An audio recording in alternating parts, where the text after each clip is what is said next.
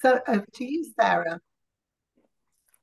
Perfect. Thank you very much. Um, and yeah, good to see so many of you this evening, and thank you for having me. It's lovely to come here and be able to talk about rewilding.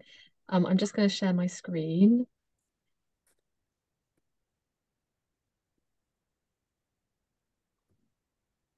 So can I just check whether you can see presenter view or the full screen? Because I can switch it if you're seeing presenter view. Presenter view at the minute. Okay, just switch. Okay, is that better? Yeah. Perfect. Okay, so um, tonight I'm just going to provide a short presentation looking at, well, first I'm going to talk a little bit about rewilding and, and definitions of rewilding, but I'm not going to focus on that for too long. I'm mostly going to be focusing on some of the work that we've been doing as an organisation at Rewilding Britain, looking at building the evidence base for rewilding. Um, so just a bit of a background. Uh, I'm rewilding manager at Rewilding Britain, and my main role at the organisation is to work with landowners, land managers, project managers who are rewilding land across the whole of Britain. We have a range of different scales that we work at with those um, projects, and we aim to try and catalyse rewilding through supporting them through our rewilding network. Um, I'm an ecologist by background and have previously done some work around biodiversity monitoring of impacts such as beavers, beaver reintroductions. Um, so this is quite a nice interface between the two. Um, we have a growing number of rewilding projects, which I'll talk about a little bit later on. Um, but just in case anyone doesn't know about the organisation, we're quite a small charity. We focus on three different areas of work. So we catalyse rewilding through the network. We aim to influence policy and, and do advocacy work to try and remove some of the barriers to rewilding. And then we also engage with audiences to showcase what rewilding is and why it's so important.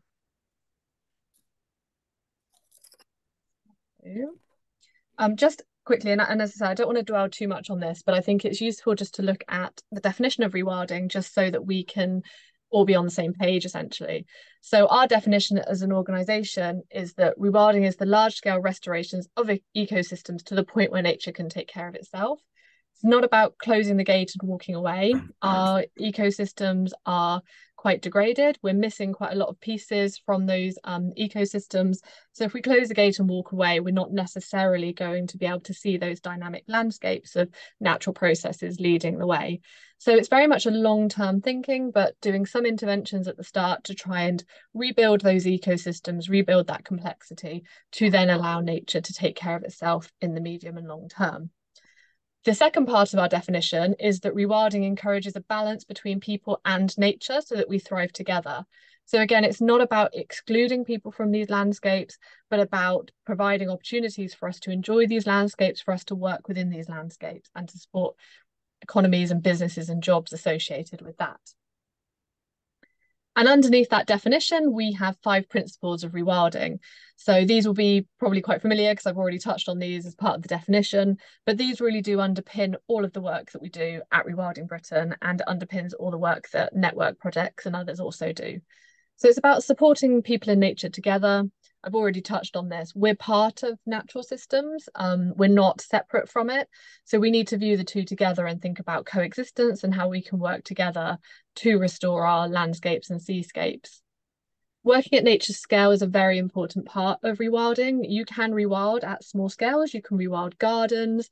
You can rewild small holdings. But to do that, you generally have to look at more of an intervention approach if we're working towards rewilding, we're really trying to work up that scale and look more at landscape level change so that we give nature more space to create this um, dyna dynamic landscapes that we expect to see and to see these mosaics of different habitats and to be able to let nature lead the way.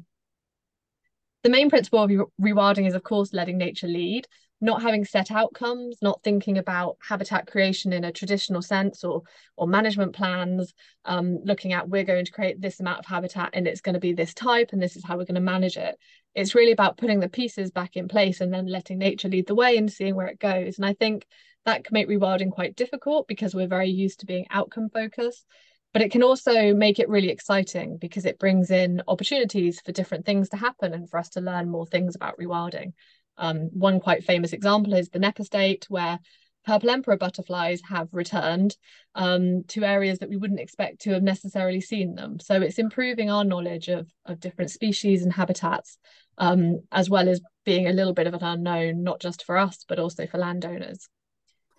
And then the two final principles of rewilding are really thinking about people, but also long-term thinking. So through rewilding, we can create resilient nature-based economies and enterprises. We can create new jobs, and I'll share some of the data around that later in the presentation. Um, but we also need to change our thinking to be a little bit more long-term. Um, often funding cycles are five, ten years maybe with biodiversity net gain and a few of the other things coming through, we're looking at maybe 20 to 30 years. That's still quite short term um, in terms of nature's cycles and nature's recovery. And a lot of the rewilding projects are now thinking about visions that are 100 year visions, 200 year visions. And that's quite difficult for us to change and shift into that. But we really do need to think a lot more long term in, in the approaches that we're taking. And it's definitely very much a marathon with a sprint start um, with some of the interventions that we're taking. And I've mentioned this already, but we do need to accept that in Britain our landscapes are degraded. We are missing a lot of our what we call keystone species. Um, so keystone species are, are species that have a disproportionate impact on ecosystems. So things like beavers, wild boar, um, some of our predators like wolves and lynx, as well as some of our missing large herbivores such as elk. And this is when we start to look at trophic complexity and trophic cascades and, and the effects that bringing some of these keystone species back have on our ecosystems. And if we don't have these species here, we essentially need to try and mimic them. We won't do as good a job, but we can try to think about what sort of things might these species have in terms of their impact on the landscape. So in the absence of wild boar, we might bring, bring back proxy species, or it might be that we go out and create some of that dis disturbance through scarifying the ground or um, uh, turning over the ground a little bit to mimic that behavior. But I think when we start to think about how we can let natural processes lead, I, I quite like to use the idea of a game of Jenga. Um, is quite a good way for me to visualize what we're trying to do when we're putting the pieces back in place for rewilding. So I've already mentioned natural processes need space. We need to look and think at the landscape level and start to think about the mosaic of different habitats. But we also need to think about putting some of the puzzle pieces back in place. Now, if you imagine a, a Jenga tower, hopefully everyone's played Jenga our ecosystems at the moment have taken out quite a few of those pieces. We're missing predators, we're missing carcasses in our landscape. A lot of our rivers um, have been modified. We've modified quite a lot of our habitats as well. So we've got a few gaps in the Jenga tower, and the more gaps that we have there, the, the shakier it's going to be. So as we see climate change coming in, the extreme weather coming in, that's just going to keep shaking the tower. And so the resilience of that is quite um, quite low. So through rewilding, we're thinking about how do we put those blocks back in, either through species reintroductions or through some of the actions that we do.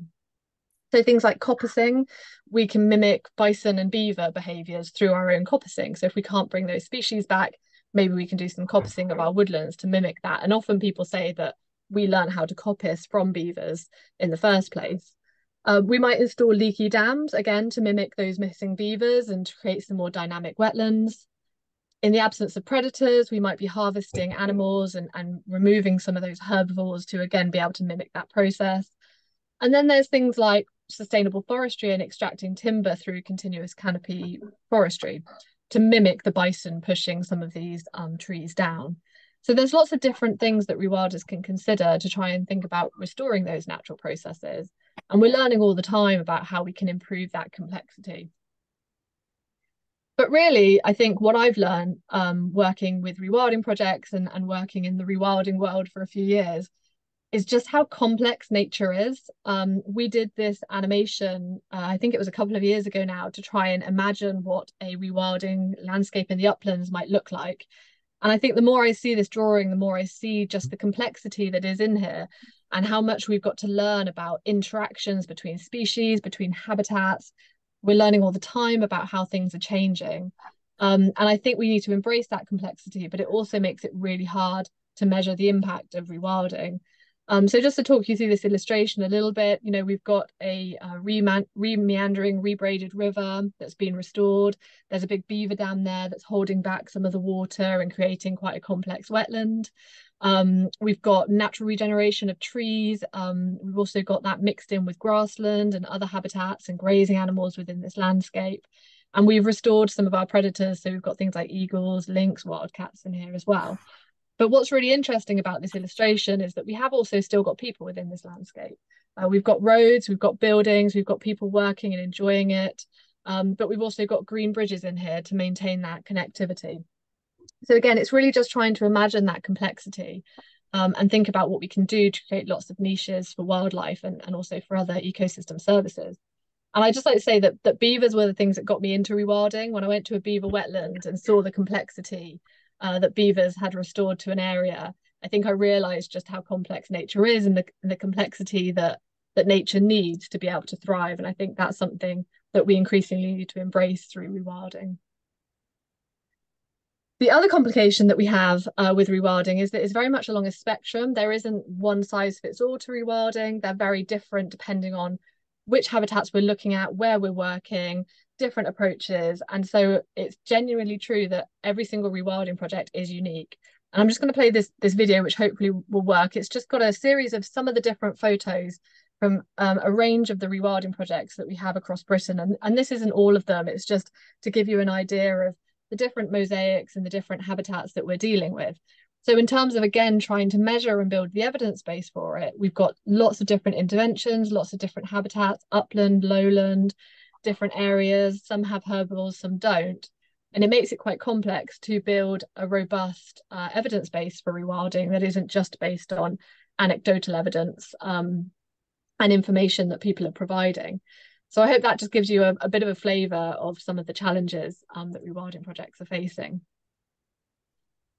Um, we also started to ask the question as an organisation, you know, why do we need to monitor? Why can't we just rely on um, anecdotal evidence that rewilding is great and we should all be doing it? Well, I think many people on this call will know about the changing funding and the ever-changing policy that we're facing at the moment. Um, we need to monitor projects to be able to look at this um, funding and policy change to push back on some of the policy decisions that are being made to try and remove some of those barriers to rewilding, but also to get the la landscape scale land use change and transition that we need to see. Um, you know, there's there's ongoing discussions around driven grouse moor and what's better for biodiversity. Is it driven grouse moor? Is it rewilding? And we simply don't have the evidence at the moment from the rewilding projects to be able to answer those questions. So it's a really, really important element. Um, we know that we need to monitor for um, ELMS, the Environmental Land Management Scheme in England. There's new agricultural schemes coming through for Scotland and Wales that we will need to monitor for. There's monitoring requirements for the emerging voluntary markets, so carbon and biodiversity credits. Biodiversity net gain has um, a requirement for monitoring habitat change and how do we do that when we're looking at landscape scale change is quite a challenge. We're seeing an increasing amount of private investment that's also going into rewilding projects, again, has reporting requirements from it. And then there's nature-based enterprises that are coming through that require a slightly different level of, of monitoring. Um, and rewilding projects are also increasingly being used for social prescribing, green prescribing. How do we start to measure not just the biodiversity side of things, but also the impact on people's well-being and health and the social economic indicators as well. So we have a growing number of rewilding projects across Britain. Um, as I said at the start of the presentation, we are supporting landowners on the ground um, through our rewilding network to try and help provide them with practical support. And one of the things that they've come back to us with is, you know, we don't know how to measure rewilding. We have we can't measure everything. We have lots of people coming to us wanting to measure different things. How do we actually do that? So we're trying to provide this support to them to try and build the movement, but also build the evidence base for our own policy work. And just to give you an idea of how much the rewilding network has grown, um, just wanted to include this map in here so you can start to see the number of projects that are starting to come onto the network. There's also a whole bunch of projects behind this map that are also part of the network that aren't quite ready to go public yet. So in total on the network, we have, I think it's actually now about 920 projects covering over 150,000 hectares of land that's in rewilding. Um, and we also are extending out our marine rewilding areas as well. So we've got a significant amount of land and marine across a whole range of different habitats and ecosystem types that are asking us um, how do they how do they monitor, how do they measure rewilding, and how do we start to build that evidence base. So in terms of opportunities, we've got this rewilding network, it's Britain wide, we've got um, lots and lots of projects on there, and we want to be able to track the progress, we want to be able to track how rewilding is affecting not just biodiversity, but also ecosystem services. And really, what we need to remember is that rewilding is new and innovative. We are trying out new things. We are trying to let nature lead the way. So I think there's a real opportunity there to start to collect a standardized data set to see what happens over time, not just to build the evidence base for rewilding, but also to inform other projects as they start to think about their own rewilding journey, give them an idea of what might change, how long it might happen, um, how long it might take to happen, and how can they then link that to some of their funding streams as well. So we have already started building some data through the rewilding network. Um, we've actually just updated this data, so we'll be releasing the update soon. But we started to build information on jobs. Um, so through the network and the samples that we have, we've seen over a 54% increase in jobs within 10 years of rewilding. Not just more jobs, but we can also see that there's an increased diversity of the type of jobs, so ecotourism as well as other things. We can see 13 times more volunteers across rewilding projects. And we've also started to build up information about livestock units, um, some information around habitat change, as well as information about interventions and species reintroductions. So the sample size of projects is now actually up to 60. Um, so we've got to update this.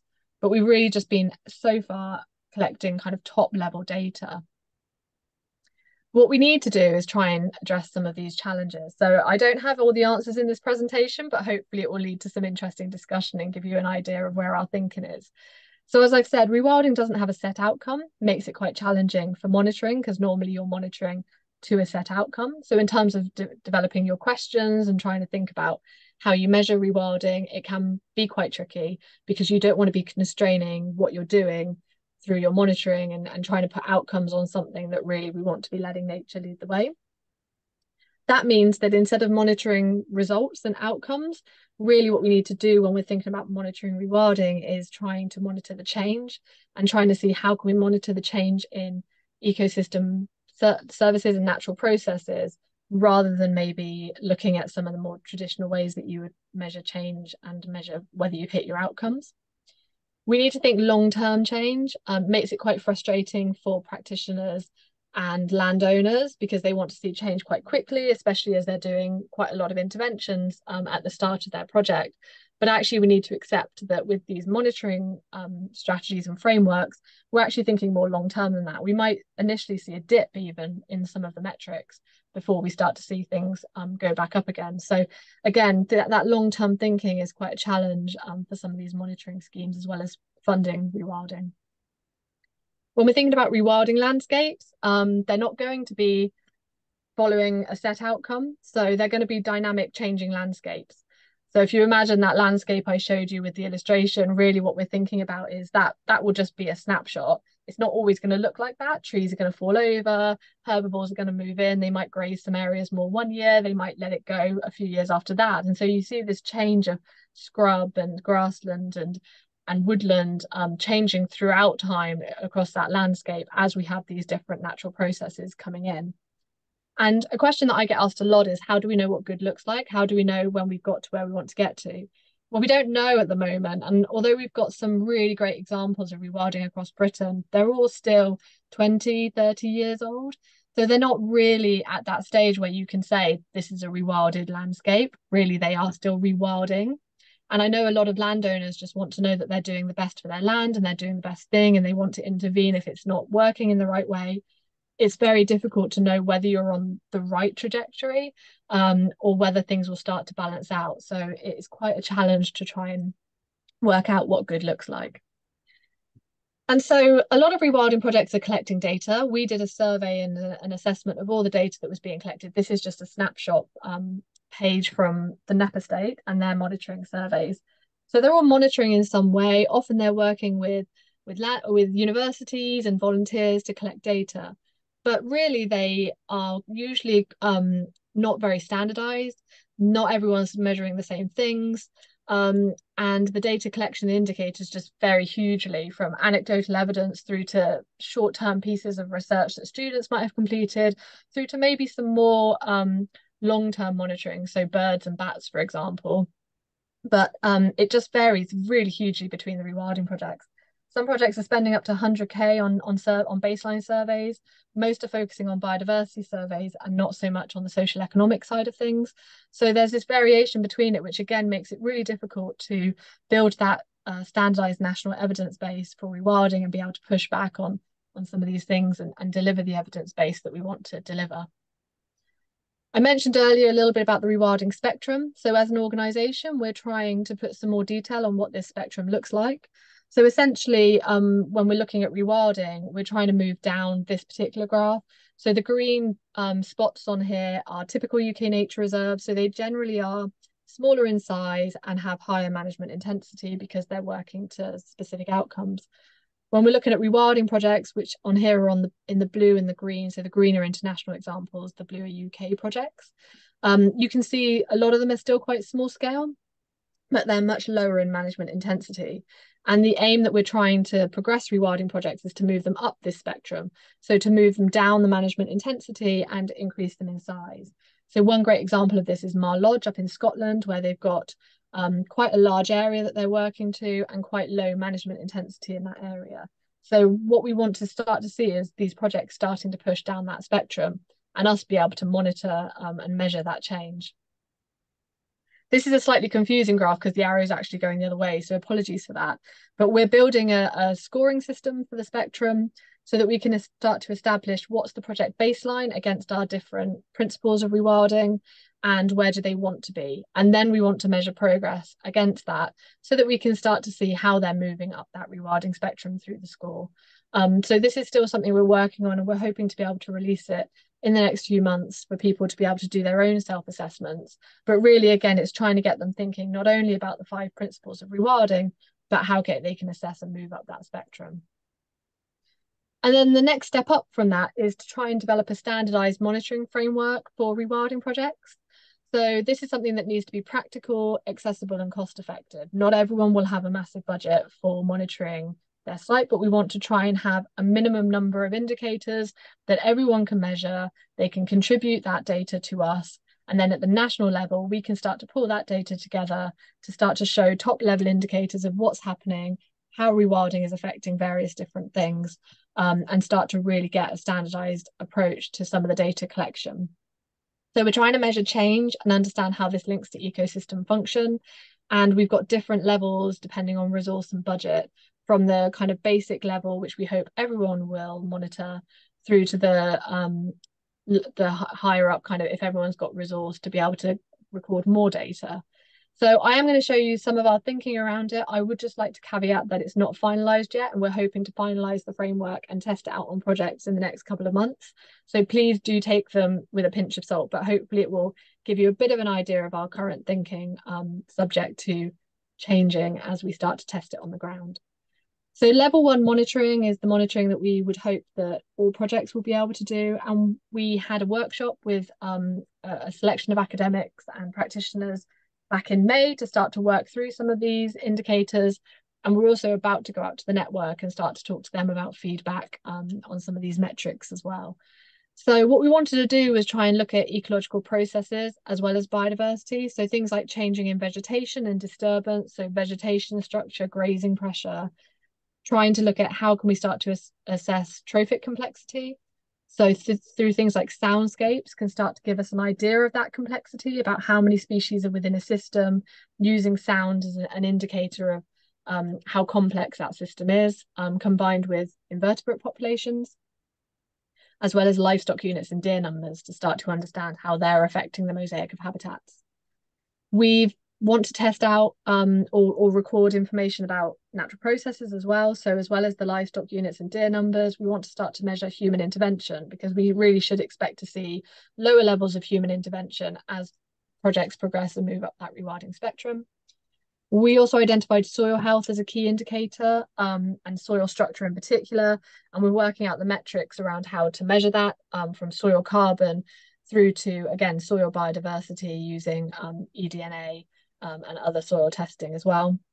Uh, water quality and hydrology are key elements of rewilding projects. So recording turbidity, freshwater condition, peak flows um, from hydrology can give us an idea of whether those natural processes are functioning as they should. And then we've got other indicators that are kind of quite basic, like the size of the project to see whether we are working at nature's scale. So in terms of the methods for collecting this, we're looking at trying to use technology wherever we can. So remote sensing and drones for vegetation structure and habitat change. uh, bi bioacoustics for soundscapes, uh, eDNA and DNA barcoding for things like invertebrates and soil testing, alongside um, other standard approaches to water quality and, and hydrology. Was the hydrology actually will probably be picked up by remote sensing. So we're starting to build this framework to be able to see, okay, can we start to standardize this and collect data on a large scale, um, but data that's actually going to tell us about the rewilding progress. And then we're starting to develop social economic impact. So we have struggled with the social economic and economic metrics. Um, so we we are still doing some work on those. So if anyone has a particular interest in that, I'd be really interested to hear about it. So far, we've got um, metrics like number of jobs, number of nature-based enterprises and turnover, contribution contribution to local economies, number of volunteers and number of hours as a proxy to well-being as well as community engagement, social attitudes, so local feelings, um, and then things like health and well-being, we've been looking at how much of the site is open for public access. Can we look at number of visitors using counters as well? So I think this is probably less developed, but we really want to start to try and show how can we bring information and data in to show that show that social economic impact as well. So I'm just going to wrap up because I'm aware I've been talking for quite a while and I think it would be good to have some discussion. But we are planning to release the framework to monitor rewilding. At the moment, we're at the stage where we're testing it with network projects to see what data we get back. We want to develop a platform to allow projects to contribute their data and store their data as well. Um, so that's something that we're going to be working on and, and give that as a service to network members. But I think as soon as we started to test the monitoring framework and, and bring in some of the projects that are already collecting data, that will give us an opportunity to really start to accelerate and, and build the evidence base for rewilding. Um, we want to carry on catalysing and upscaling rewilding across Britain, so we'll continue to work with projects on that and we're going out to a few different organisations to try to talk to them about rewilding some more of their land as well. We're also about to get a marine coordinator in. So we'll be doing this exercise again for how do we measure and monitoring the marine environment. Uh, we're doing a piece on financing rewilding and this will link in with the monitoring framework to try and see how can we get better financing into rewilding projects and how can we make sure the monitoring framework supports that.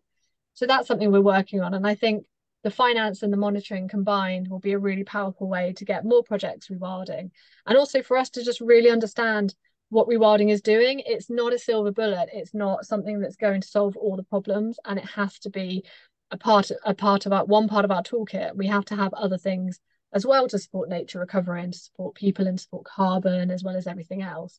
But i think as soon as we start to understand what benefits rewilding can bring what are the benefits and what are the trade-offs I think that will really help us to be able to show um, how it can contribute to a lot of our targets um, and hopefully contribute to reversing um, the declines in nature that we've seen so much. We've got the State of Nature report coming out next week, so um, I'm not sure that's going to fill us with good news, but it will be good to to start to be able to push back on some of those. Um, so that's me. I hope that's been useful, and, and I know it's been a bit of a whistle stop introduction, but hopefully that's given you a flavour of what's happening with rewilding in Britain, but also where our thinking's at in terms of being able to collect that data and monitor it. I'm very happy to have a discussion now, but also if you're interested, um, I've got email addresses on there and social media media handles and everything else. So yeah, um, hopefully that's been good. Thank I'll you very much, Sara. That's that's absolutely fascinating. And um, I love the Jenga um, model. I think that's really um, interesting. I mean, I, I, I'm very interested in collection of data and how you turn that data into useful information, um, particularly socioeconomic. And I'd love to have a talk to you about that another time. We have got some um, questions in the chat. Um, the first one to come in was from Mr. Scott, asking, um, Alistair, do you want to um, turn your video and microphone on and ask your question directly? Start the discussion.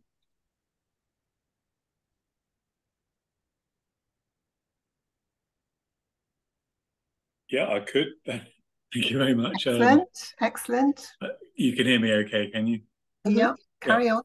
So, yeah, well, thank, thanks, Sara. That was a excellent talk. Um, just just for clarity, because I'm aware I have a namesake also called Alistair Scott, who is the CEO of the Global Rewilding Alliance. So I just wanted to make clear I'm not him.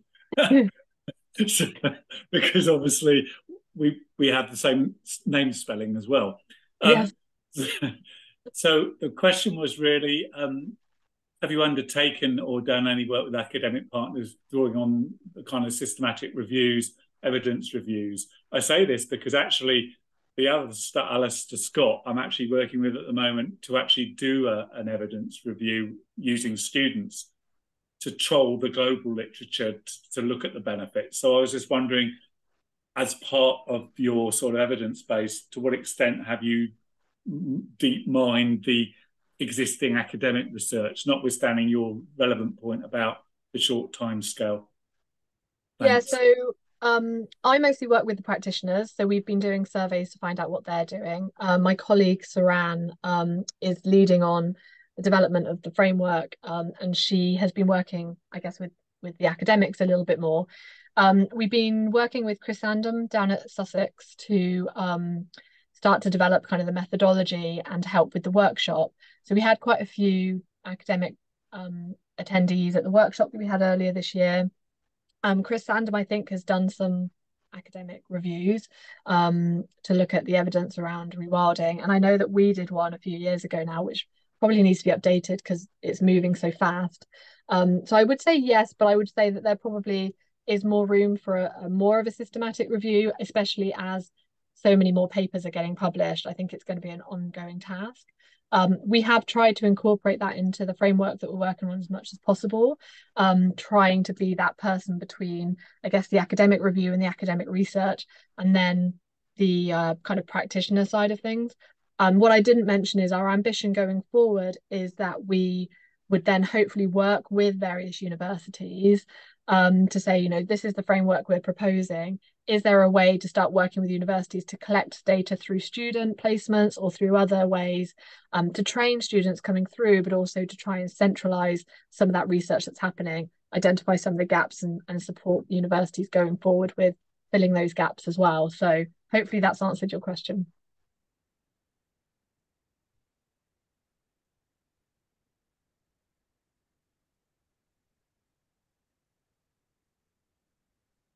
I'm going to take the silence as yes. but happy to follow up with you, Alistair, if that's useful. Yeah, no, sorry, I did say thanks, and maybe I was still on mute. Yeah. Sorry. Uh, okay. Apologies.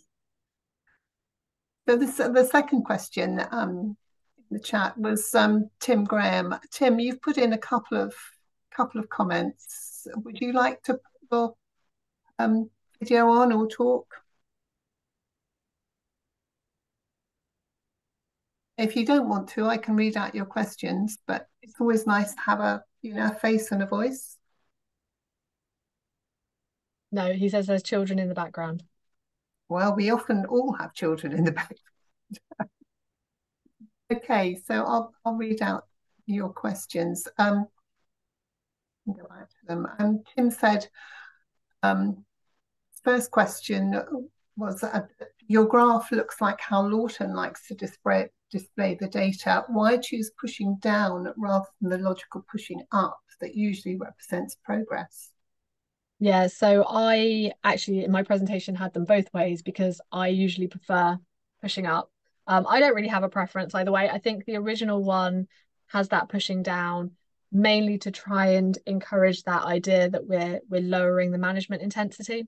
And I think that's quite important to remember mm. that I work with a lot of landowners who want to intervene and manage things as much as possible because they want to see those results quickly. And that's fine in some circumstances. But I think thinking about rewilding progress, we need to be mindful that over the medium and long term, we should be reducing down the amount of management intensity because we should be letting nature lead the way. So I think that's why that particular graph is down. But I do like when for the rewilding spectrum um, progress slide that I had, you'll see the graph is going up because I prefer a graph that pushes up as well. And Tim's second comment was lots of discussions are going on about um, platforms for gathering evidence. Is there scope to join up work across various platforms, for example, BES, mm -hmm. um, Ecological Society, Applied Ecological Resources, Conservation Evidence, etc.? Yeah, there's lots of platforms at the moment. I know that there's a few that are in development or already are um, online. I know that a few providers as well have developed their own platforms. Um, I think we have been talking to Conservation Evidence. We've been talking to them quite a lot about this actually and how we can link up to the work that they're doing. So that's definitely something that's on our radar. Um, I think we are trying to work with platforms as much as possible, whilst also thinking that actually um, trying to keep it as simple as possible for rewilding practitioners.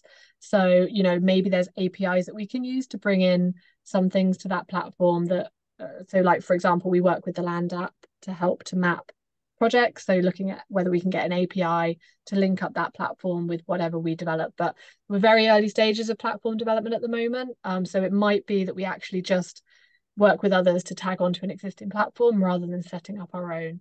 Um, that's something that our data scientist is working on. Okay, and of course, gathering data is is is great, but uh, it's only really useful if you can turn it into um, information, and that's always the thing with student projects. You know, it's not the data; it's the what can you do with it afterwards, and that that is actually takes more resources. Yeah, and so we're looking at things like um, is there a way to store some of the original data as well so that as um, technologies change or as things progress, we will still have that original data to allow analysis to happen on it, as well as maybe some analysis on the platform to interpret some of the data that's coming through. So yeah, absolutely crucial point is how can we start to actually turn that into information that's usable? Yeah. Um, and Florina, um, I don't know if you want to make your point, Florina. Sure. Yes. Um, thanks, Sara, for this fascinating talk. Um, I'm Florina Bartman. I'm currently working for the Leverhulme Centre of Nature Recovery at Oxford University, and I, I'm sure you're in contact with some of my colleagues. Um, I'm in the social science research group, and we're currently thinking about how to measure these aspects and how to explore sort of social and cultural values and how they change under rewilding and nature recovery. So really happy to chat with you about possibilities of sort of engaging with social scientists and indicators that we can come up with um, to really help also monitor sort of these societal aspects. Yeah, you hosted our workshop back in May. We came to to your venue to host it. But yeah, I would say, I mean, I'm not a social scientist. Um, I'm an ecologist by trade, so it may I I think that we recognise that that social side of things is underdeveloped at the moment in the framework. It's not really delivering what we want it to deliver. So I think what we'll probably do is release the biodiversity side and the ecology side of the framework first, and then we're definitely open to working with um, other people about how do we develop those social indicators. At the moment, they I think you mentioned it in your um, comment, they are based on quantity and not quality. And actually, the social side of things requires more of a, a quality based approach. Um, so, yeah, that's something we definitely need to do more work on to be able to find something that actually delivers that, that data in the best way possible. Sounds great. Looking forward to it. Just to add to that, um, as a, a dual qualified landscape and ecology professional, um, there's quite a lot in um, in the landscape discipline, which gives you metrics, which um, could be very useful from landscape assessment to historic landscape assessment and and future modelling. Mm-hmm. Um, I'd like to ask one question um, before we throw this open to to anyone. Um,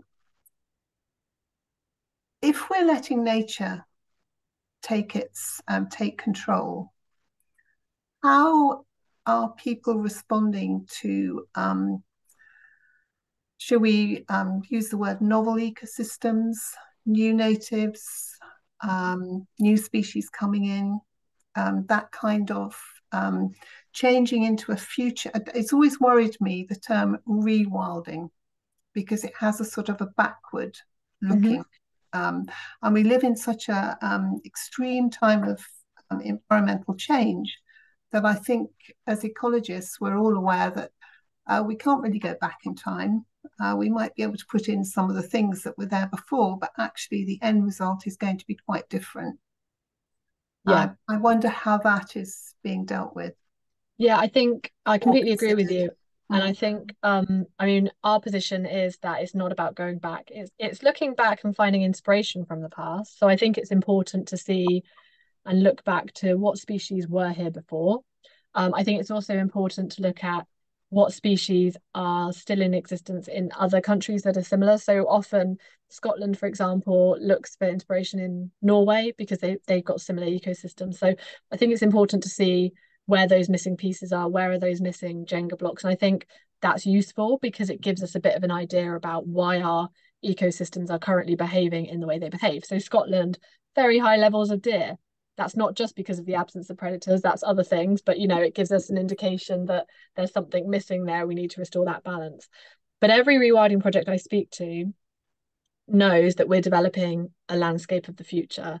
And so apart from non-native invasives which obviously they, they need to control there is consideration to our changing climate and how that's going to affect. So i was having a discussion with Carrifran in southern scotland this week actually they've done a whole load of tree planting because there's no seed source there. They're now thinking about are there other species that aren't considered to be native to southern Scotland, but actually they might need to plant to make it future proof for those changing climates. And so they're looking a little bit further south, so kind of northern England, Cumbria sort of way to see, okay, there's some species that are thriving there. Maybe, maybe we need to start planting those. And I think generally there is that acceptance that I think within reason, I mean, we're not going to start bringing in like eucalyptus or anything, but I think there is opportunities there to think, you know, how how is our climate changing? It's going to affect some species, and you know, we need to start thinking about the resilience of that. And if a species fits a role that's missing from a native species, then then that's okay as long as we're kind of letting nature lead the way and, and think about those natural processes. And I was saying to Carrifran that, you know, they could plant some species. If it's not suitable for them, those plant those trees just won't survive. But if it is suitable, they'll do well. And that's an indication of the changing climate there. Yes, I mean that's the, um, the argument for calling it wilding rather than rewilding. Yeah, um, I mean, I don't. I think it's um yeah, I think it's starting to. I think a few years ago it was still quite a toxic term. I think generally it's starting to be more accepted now, and I think as we start to provide real examples of what it looks like in Britain, we take away some of that polarization of what it means because we've got a whole bunch of real examples now that people can see what we mean by rewilding. But I don't really mind what we call it, to be honest. We can call it wilding if we want to. Yeah. Um, open to comments. Who else has got any opinion, comment, anything they'd like to say? We've got, oh, we've got about 10 minutes.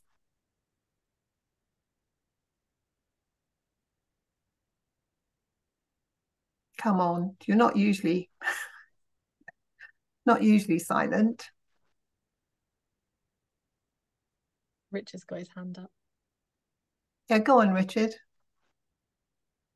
Oh, uh, that was a great talk, Sara. Uh, really enjoyed it. Um, and uh, I, am a big fan of, uh, of, of rewilding or wilding or whatever you want to call it, letting ecosystems find their find their own way. And um, I mean, I guess that's that that's partly why you're sort of trying to concentrate, I guess, on monitoring techniques that that look at ecosystem functioning and processes more than just looking at species composition but I wondered whether um, I did notice that that that the standard sort of biodiversity indices and, and so on were completely lacking, uh, completely absent rather in your in your list. Do, do you think they don't have a place at all, or or do you think sometimes we know enough about the kind of habitats that are likely to be created to be able to do something meaningful with those standard techniques? Yeah, so I need to update that slide because actually our current thinking mainly for, for a couple of reasons, but also because of the way some of the financial markets are going. We do have species included in that kind of basic level now. And we're looking at are there, can you measure kind of three species group to give you an indication? And those generally are including birds, bats, um, and invertebrates as well. So they won't, they probably won't be absent. Um, but I think when we started, we were really trying to focus on the ecosystem function because actually what you'll probably see in a rewilding landscape, and I'm going to say probably because I still don't think we truly know, but you're going to see some species moving in when it's su suitable for them. And then as the rewilding project starts to evolve, those species probably won't live there anymore because they won't be suitable. And then other species will move in. So I think where we start to think of these dynamic landscapes, we're going to see trade offs, we're going to see change over time.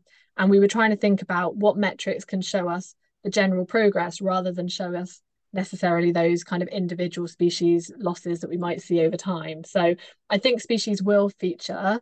Um, I think it's important to anyway. We've got we've got loads of data about birds, and we know that it links up to national schemes, for example. Um, but what we wanted to try and focus on were the things that would actually show us that ecosystem function, which is why we looked at things like soundscapes, kind of remote sensing of habitat change, hydrology, and things like that to, to really give us an idea of how those ecosystems were functioning. And I think that's why we also want to pilot them on some projects as well to see what data we get from it, because it might be that the data isn't actually suitable and we might need to have another look at the framework again. Thanks very much. No problem. Annie, you've got your hand up. Annie's going to give me a tricky question now. I know she is. Yeah, she's on mute as well. I, I know that I just trickiest thing is getting off of mute, isn't it? Um, yeah. No, I'm not. I was trying to think of a really hard one, to be fair. But I, uh, I was just going to say. So uh, obviously, like you say, as this as wilding rewilding progresses, um, and you're going to see landscapes changing and different species coming in and going out and that kind of thing.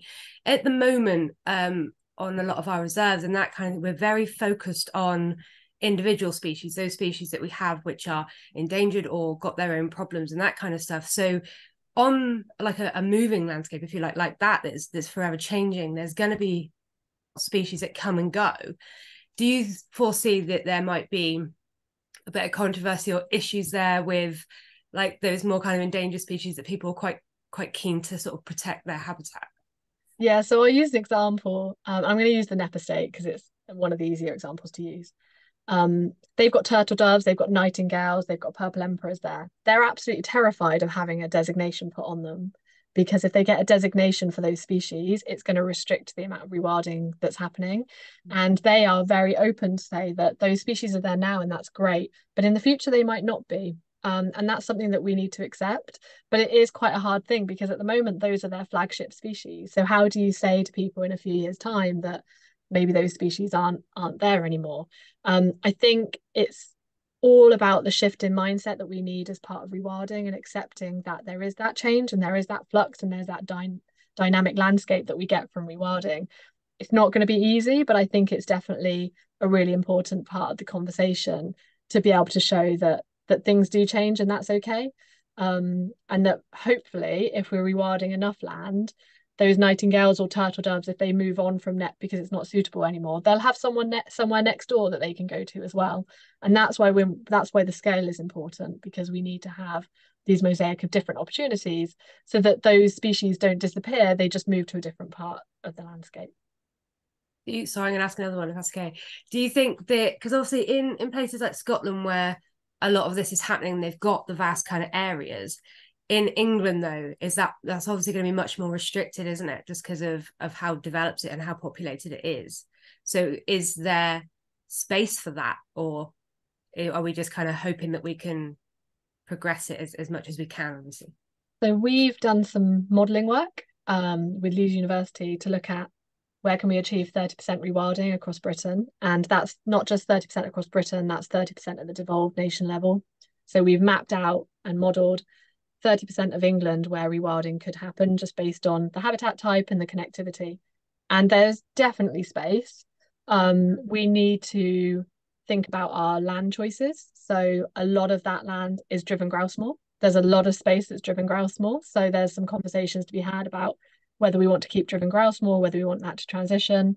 A lot of it is um, low grade farmland, low grade agricultural land. So again, it's thinking about can that land produce something for nature and ecosystem services better than it can currently produce food. Um, and the National Food Strategy for England gives a really good account of where we have space for nature that isn't going to affect our food production. So yes, there is space, probably not as much space as in Scotland, but there's definitely vast landscapes, especially in the uplands of, of northern England, where we can do things differently and we will have that space for landscape scale change. Um, but also even in the south of England, there's the Weald to Wave scheme that's trying to connect Knepp with the Sussex Kelp project. Um, that's looking at quite big corridors and through some of the landscape recovery that we're seeing as well through ELM, we are starting to see that change. It's probably more of a mosaic, but there's certainly space for it. Um, we just need to think about how we can start to work together more and have the funding for that level of change. Thank you. Alistair, I think you're probably going to have to be the last question because we usually try and finish. Um... Well, as I've already asked a question, maybe if there's anybody else, I'll shut up because I've already asked one. So if there's somebody else that's also got a hand up, then that's fine. I can't see anybody else with a hand up, and I have got people spread over several pages on my screen. I haven't managed to compress it down. Um, well, I, I, I, can answer it very quickly anyway, because it, it really revolves around the part of the point I made about the quality of indicators, uh, but it's around metrics. And you introduced yourself as a, I think it was a landscape architect. Did you say I'm, I'm a planner at North? So I'm a registered planner, charter planner, and my interest is in in, in obviously planning policy and the interface with the natural environment. But to me, too many people use quantitative metrics and I think a lot of the rewilding experience could benefit from more qualitative based metrics, which enables people to tell stories about the benefits that are happening. And it, I suppose it was really the extent to which maybe those elements could provide that people human nature connection, which actually doesn't isn't calculated by the square root of a baked bean can type of approach, but is actually much more of a um, of the telling story. And I just wondered the extent to which that could be something that could be useful to talk about. I'll be very happy to talk to you offline about that. So anyway. definitely, yeah. I mean, um, we are working with projects who are have um, residential artists. Um, they also are doing storytelling. But yes, I think I agree. I completely agree with you. That's actually the more powerful data to to showcase the benefit of rewilding is actually that storytelling. So yeah, I, I think um, it's difficult to to kind of standardize that and bring that together as an evidence base, but it's certainly an important part of building that evidence base going forward. So yeah, I'd love to talk to you about that. It, it and, an ecolo- and not a landscape architect, I'm an ecologist. It, it, was me that said I'm dual qualified.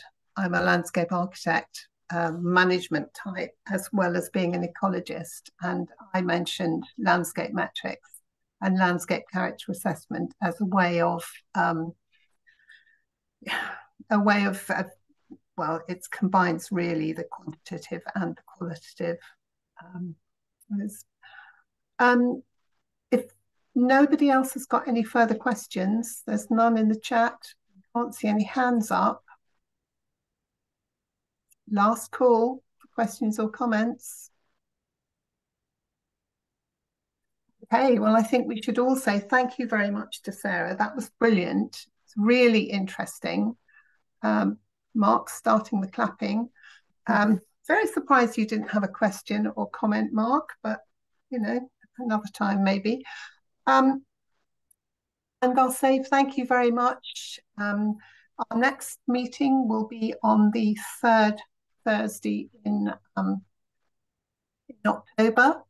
Uh, Richard or Annie, would you like to comment on who is presenting and the title of that? Richard, I'm going to give it to you if that's okay, because you had the conversation with him. well, actually, um, I don't have a confirmed speaker, and I don't want to embarrass somebody else who's on this call who's involved in finding the speaker. uh, not Annie, somebody else. Um, but it will be around um, around the idea of, um, of, of common themes in habitat restoration. So it kind of links a little bit to uh, what we've just heard about. Um, and we're hoping that we'll be able to confirm a speaker and an exact title sometime over the next couple of days. And we'll be putting it out on, on LinkedIn. And um, if you've attended this meeting, if you signed up for it, you should get information about the next one. Um, and we can guarantee it will be exciting and interesting, won't it, Richard? We can guarantee that. Yes. Um, so I'd say thank you very much and um, goodbye everyone except the committee who've now got to stay on for a committee meeting. So hope to see you all in October and November. Bye. Thanks, Sara. Bye. Thanks very much. It's great.